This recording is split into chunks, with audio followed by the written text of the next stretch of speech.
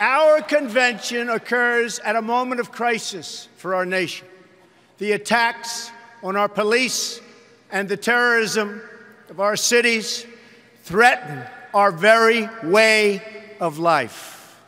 Any politician who does not grasp this danger is not fit to lead our country.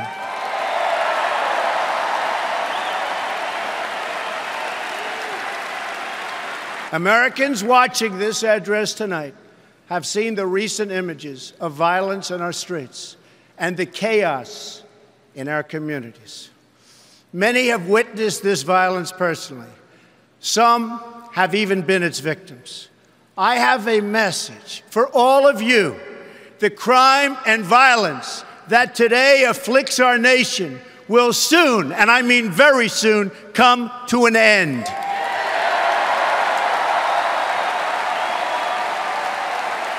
Beginning on January 20th of 2017, safety will be restored.